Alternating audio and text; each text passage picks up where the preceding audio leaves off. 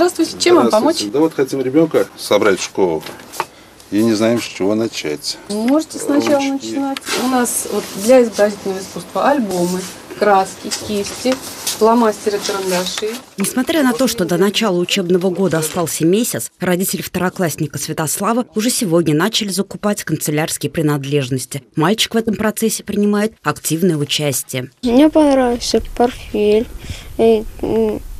тетрадка и фломастеры. Дети разглядывают яркие картинки на рюкзаках и тетрадках, родители смотрят на ценники. И если красочный товар и его изобилие радуют, то цены заставляют задуматься. А сколько в этом году придется отдать за карандаши, ручки, альбомы и фломастеры? Ну, мы планируем где-то в порядках от 7 до 10 тысяч. Это на одного ребенка.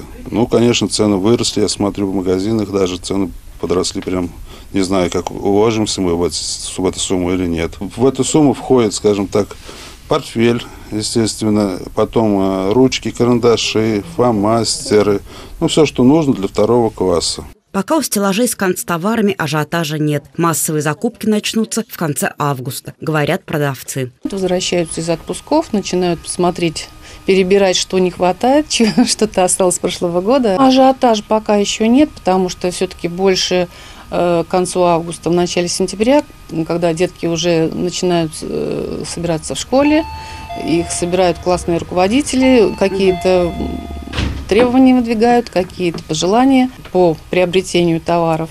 Специалисты Самары Стат на сегодняшний день располагают данными об изменении цен на школьные принадлежности за июнь 2022 года. Но уже сейчас понятно, что подготовка к школе обойдется дороже, чем в 2021. Наибольший рост цен наблюдается на ручки, карандаши, школьные тетради, альбомы для рисования от 19 до 35%. Рюкзаки подорожали в среднем на 17%. Больше придется заплатить за одежду и обувь. Покупка одежды обойдется родителям в среднем на 10% дороже, а вот обуви на 14% дороже. Исходя из опыта перевода всех учащихся на дистанционное обучение, стало заметно, что наличие ноутбука, планшета или моноблока – это необходимо школьникам любых классов.